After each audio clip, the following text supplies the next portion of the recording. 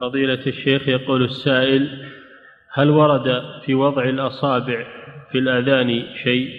نعم.